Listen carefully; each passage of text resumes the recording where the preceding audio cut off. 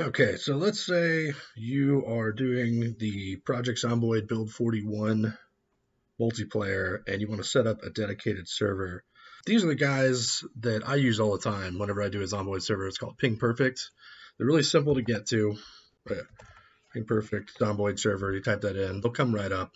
Super easy to do.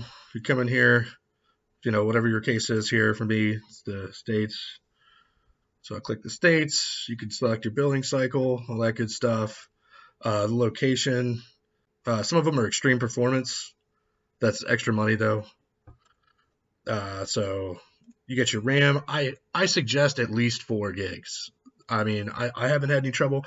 Anytime we've run a server and there's like more than 20 people on, then you know you start needing some more, but you like at least four to keep from it being crappy. Also, it's only a buck 32 more get the NVMe. Do yourself a favor. It's better.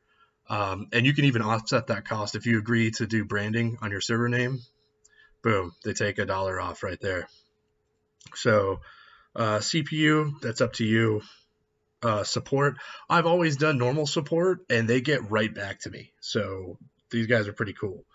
Um, you know, then you hit. Uh, don't forget, you got to do your host name. So you put like your server name.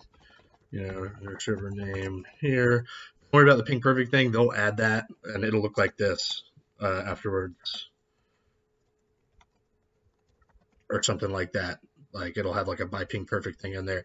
Now I don't know if this is still true. You can take that off later. I don't think that they like should take the dollar back or whatever. But don't be a dick. You know, just you know they're, they're letting you do it. So you just this is from an example earlier. You just pop a password in there.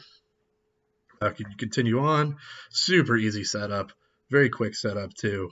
Uh, it goes in your shopping cart, bada boom, bada bing, you know, and you do that and you go to checkout. But I already have one, so I'm going to remove that item. And we're going to go to this right now. Uh, so when you do get it set up, it's going to come up like this. You're going to have a, a page here. It's like, so you want to set everything up, you go to your login to control panel and they'll send you a thing like say your email notifications. If it doesn't like it logs in automatically for me because i'm uh i've been going in and out of here. But they'll send you a little thing over here the email notification to tell you how to do it. Uh, let's see here. So your big things the only things you're really going to mess with unless you want to like back up and restore your world and stuff but this is build 41 multiplayer is kind of wonky because like they said it's not fully done it's beta. You're you're probably going to lose your world whenever they update uh, unless you stay in Legacy. Because so now they're at 41.61, but they have the old. Uh, I'll show you. So build 41, build. Oh gosh, another update. Come on, guys. Okay. Uh, let's, let's see. I mean, I guess that's a good thing. But so they've got all these versions here. Your legacy 4160. So if you set up a 4160 server, and now that they've they've been putting out updates, so they're like 4161. Who knows? This update might be 62 or something. But if you want to stay at the 4160, you need to go back to this legacy here. Okay, and that's the legacy 41 underscore 60. Remember remember that because I'm about to show you what you have to do. For this one, you're going to need the build 41 multiplayer because we're going to stick on the latest one and uh, throw them some bug reports and stuff as it comes out. Uh, so let's put that down. Uh, I'm going to go ahead and update that. See what we got going on. Hopefully that won't mess anything up too much here. All right, so we go back here. Let's go ahead and launch the game. We'll have that playing in the background for a little music action. Um, so my server right now is stopped, right? Super easy controls here, stop, start, all that good shit uh, stuff. And so you, the main things you're going to be messing with are your configuration files, which you can also find in File Manager. This is just an easy way to get to them. Your command line manager and your Steam beta update. All right. So when you first get your server, it's going to be 40 point, what is it, 5.4 or something like that. It's going to be built 40 automatically. What you got to do is you got to go to your command line manager, and it's going to be on default. When you get it, you're going to want to set it to build 41 multiplayer and you, you just click it. It'll probably restart your stuff. If your server's running, it'll stop and start your server again. But click Build 41 Multiplayer in your command line manager. Then next, you go to Steam Beta Update.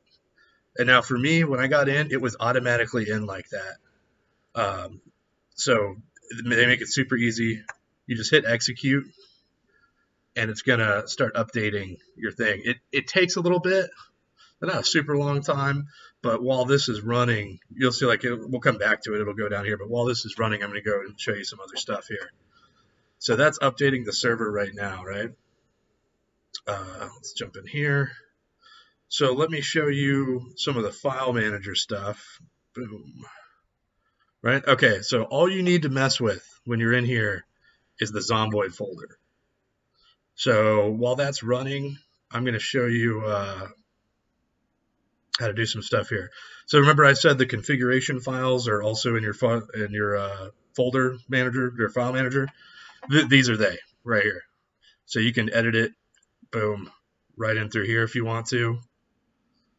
Okay. And that, all that is, if you're not used to setting these up, when you go into your Zomboid game um, and you hit host, so it's going to ask you to do some stuff here, right? It's server test by default is what it's called. I always just leave it at that because it's not like I'm running multiple servers here, right? So you can go into your edit your settings, right? And you can go through here and set all the settings you want, okay? Just set them to however you like them. Hit save, right? back, and then you don't don't do host game here unless you're trying to go through Steam and do a co-op thing. But once you've saved everything, go to your file folders, C users, whatever your username is, um, and then look for Zomboid, and then you want to go to server. So see, it's the same thing as. go back in here. Literally the same files to server. Zomboid server, it's the same stuff, right? So what I do is I like to go through this part here to do my configurations. So then what you do is you just open this up. You can open it up with um, Notepad, you know, whatever. And then just Control A, select all, Control C, copy. And then go in here. So that was server test, right? Server test. So I'm going to go to server test, hit the text editor, uh, it must still be updating. It is. Okay, so I'm gonna I'm gonna hold off on that because I don't want to mess anything up. Okay, I'll come back to that in a second. So it's still updating there. But basically what I was going to show you is how easy it is. You just you go through these. You definitely want to do spawn regions too because in the uh, the default thing, it's like it'll spawn you in the same location every time. These refer to files in the game that have different spawn points already set up depending on what town you're in. So it's better to have that. It's more more vanilla like. Uh, this is still going on. Okay. Shopping cart. I don't need that. Uh, so so now here's my server. As you'll see right now, it's not responding because it's doing stuff. Yeah, everybody's on 4161. Okay. So let's take a look here. Still waiting for client, no problem. We're going to go back, let me back out here real quick. So at some point, this was moving faster last night. I think it's because they had just uh, they just did their thing and updated stuff recently. Oh, so remember what I was saying about um, let me put this over here. So where that said build, you can't, uh, I can't move this. Where that said build 41 multiplayer, if you want to keep your server, or uh, or if you want your server to be just the 4160 that they had out, where do I go? Right here. Um, what you do is you go to betas here, right? And you want this where it says you'll type in legacy 41 underscore 60 instead of B41 multiplayer. And that, that's the same is true if you want to go with any of these. Not the thing on the right, but the thing on the left. So, here. Are you done yet? Okay, so now this has been getting stuck on verifying installation for me, but once it gets to this part, See, it says success app fully installed. Like it, it was been getting, um, it wasn't getting stuck yesterday when it was just 4160, but for whatever reason for 4161, it just like stays at verifying installation. I just X out at that point. once I get to verify installation. And now we go back to our server here, right? So now if I go into this configuration file, there's nothing there.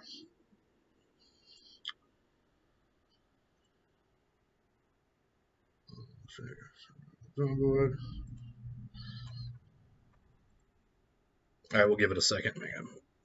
This is good. So this shows you how to troubleshoot something if something's not going right. But it should pop up in here pretty soon. Where you at, dog? Hmm. Come on, you can do it. So watch, if I try to start this, I bet it'll mess up right now.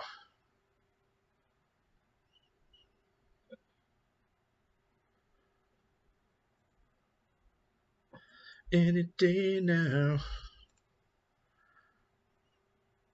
No, it's not messing up. Did it do it once I started it? It did. Okay.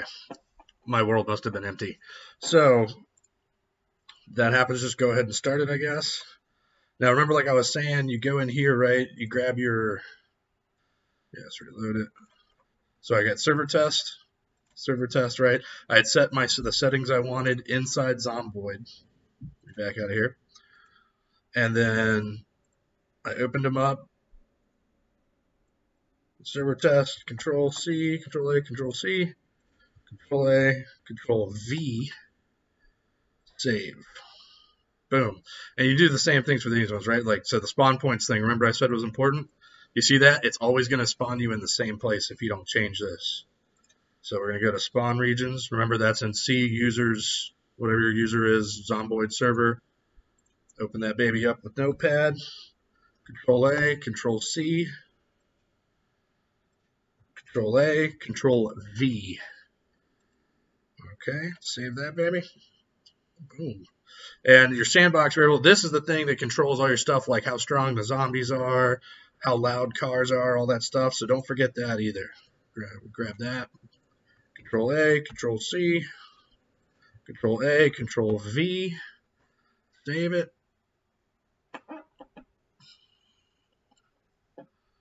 Bada boom. I'm going to restart it just because I had uh, made some changes. Now, just so you know, once you get your server running, if when you stop and restart your server, it wipes some stuff, right?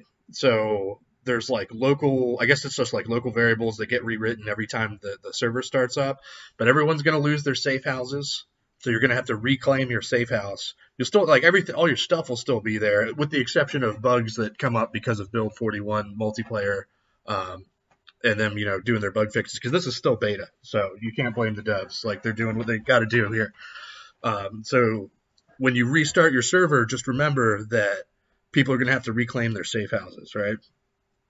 So once your server starts up, see this PID number? If that says PID zero, something messed up and it's not working. You need to go and try and do that again, right? But as long as there's a PID there, at the very least, it's up. So let's make sure that it's given us the, oh, hang on, I've got this set to port 16.3.11. And it, um, by default, when you're in there, it'll give you, uh, what is it, like 16.261, I think? Where's my port? Yeah. Okay, no, no, I, I said to, I bet you this guy, though, I bet you he's set to 16.261. No? Is it to 16311? Oh, okay, there we go. Boom. 41.61. So let's log in here. Let's make sure she works.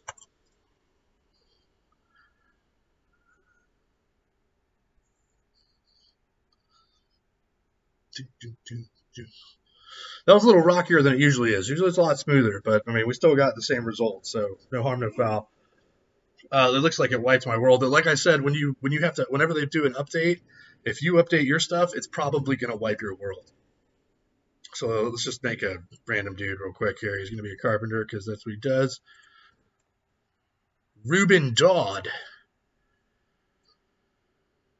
Da, da, da, da, da, da, da, da. Trying to think anything else I want to do. Oh, I will show you one last thing. Let's say you want to manually redo your world. I'll show you how to do that real quick once this is done loading. Oh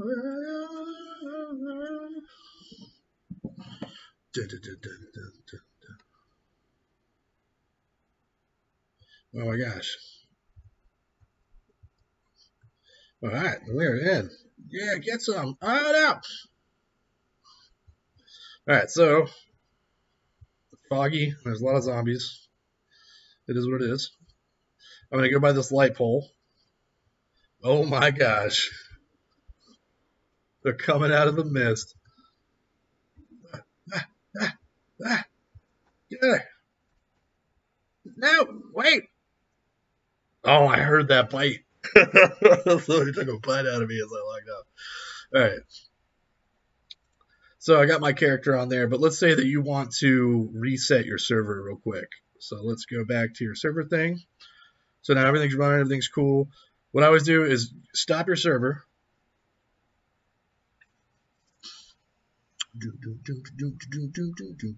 Because if you just restart it or you stop it and then you start it, everything's going to be the same minus safe house. Oh, safe houses and factions get wiped when you restart your server. So anytime you restop stop or stop and start or restart your server, people are going to have to redo their factions and their safe houses. So just be aware of that. So going into the file manager, you go to Zomboid. You go to saves and this, you'll see this multiplayer folder, right? If you open it up, you'll see server tests, and I think it's got your like characters and stuff in there too. You can go in here and just delete the world and only the world. Um, I forget how to do that off the top of my head, but uh, we're just going to go ahead and delete the whole thing. This deletes worlds and characters. It just refreshes your server. Just delete that puppy. Okay. All right. Now remember your your config is in the server folder. So that's still going to be whatever you set it to. Right? So while your server is stopped, if you want to change your configuration, do it then. Like, you know, change it all up here because it's going to pull information off of here to do that. So now that you've deleted that multi, that uh, multiplayer folder out of saves, all you do just start it. And it's going to automatically populate that folder. It's going to put another one in there. Bam, so I got a PID, looking good. All right, so it's probably going to say not responding. Yeah, so it's still booting up here. Now, if this works, when I log in, I'm going to have to redo make my character because we deleted that world. Give it a second here refresh. Refresh. But yeah, I, I, really like the Ping Perfect guys. The prices are pretty good. Uh, they do monthly, and they uh, they're really easy. And the support guys like got right back to me. I was having trouble with this uh, initially because I wasn't. My issue, it turns out, was I was just doing the Steam beta and I didn't go to the command line manager and change it. You need to do that. Um, and so I kept uploading and uploading and uploading, and it kept showing me that I was in build 40, and I was like, I don't understand. But uh, I sent them a message, a little server SOS, and they repl- they replied like within 30 minutes. I think it was like 14 minutes they replied, and they and they wound up uh, showing me how to do it. So they're really cool. Boom, there we go. So let's see, let's join the server. If this worked right, I should have to redo my guy.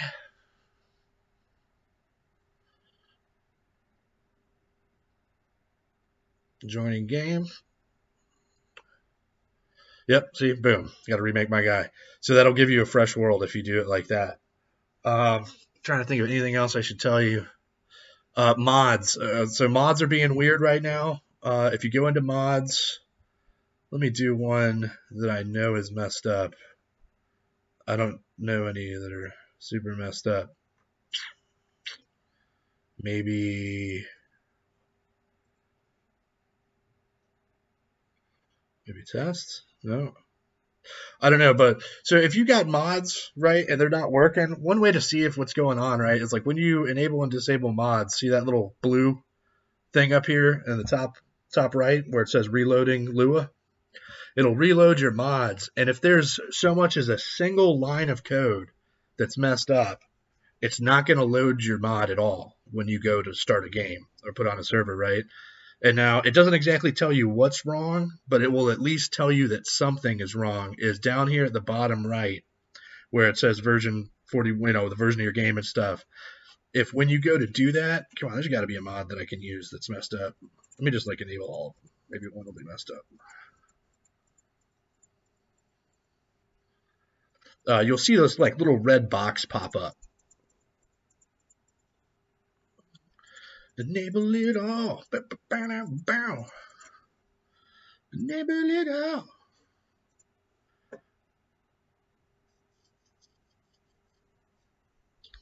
Oh my gosh. What happened? Okay, do you see that right down here? Error 6. That means that somewhere in all those mods, there's six lines of code that are messed up. So that means that, oh, 84 now. So you see that? like one of these mods is screwing up hard, or if not all of them. But so if if you enable a mod, like sometimes you might have to do them one mod at a time to see which one it is if you've got multiple mods. But if that error box pops up, there's a high chance that that mod's not going to load.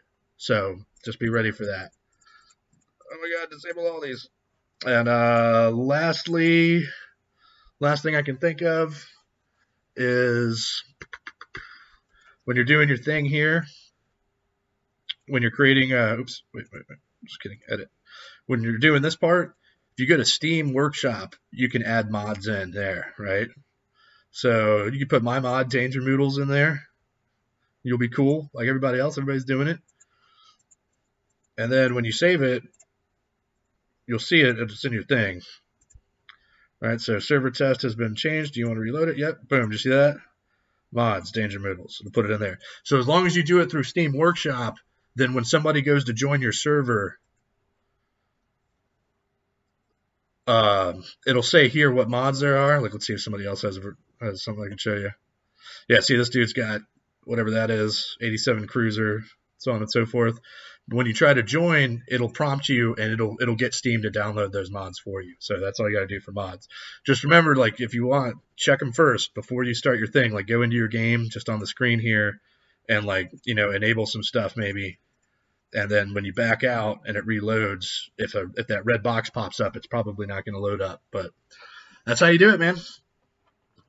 Ping perfect. Get your server rolling get on Zomboid, pop it up there, and it'll it'll show up right here in internet too, right? So let me see. I'll put ping. It might take a while, but it will show up.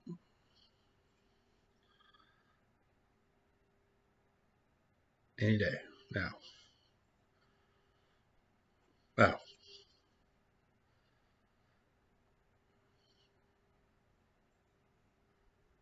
There we go.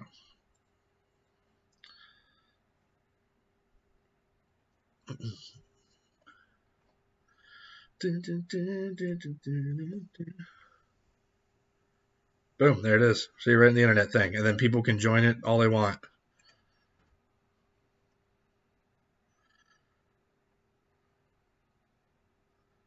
I don't know if I want to go through this whole list to find where it is, but if you type it out, it'll be in there. See, there it is. I got mine in favorites, so I can get in there quick. That's how you do it, guys. You set it up, boom, from there you're good to go. Um, as they're changing the thing, you'll have to update it accordingly, or just stick in that legacy version if you don't want to be bothered with being up to date with all the updates. Because, like I said, it's probably going to wipe your world whenever you have to uh, go in here. And it tells you right here too, like somewhere it tells you, but it, it says somewhere when you do this, it tells you to, you know, to be careful because it's probably going to wipe your world out. But that's how you do it. There you go. Good luck, everybody. Try to stay alive out there, and uh, maybe we'll see you on our server. Peace.